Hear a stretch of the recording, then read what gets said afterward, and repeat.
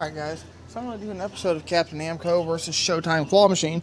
I have a potential for a 2-in-1 right there, but I'd have to swing the claw and this thing drifts. And why it drifts is if you guys remember, if some of the machines with the uh, black cord that leads to the coil stretches too far, the claw will bend and you'll more than likely lose and not win at all.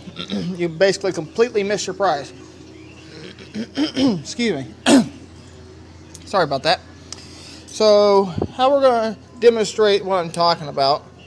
This claw actually drifts, so I'm going to go for that unicorn ball in the back.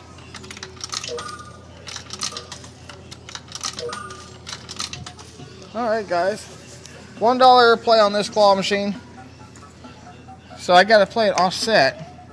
I can't go directly over it, because if I want to win this, I need to come over because it does drift. See what I mean?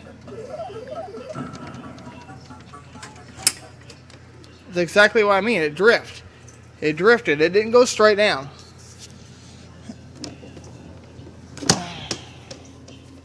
It's got a saying on the bottom of it too. Cool. Thanks for watching.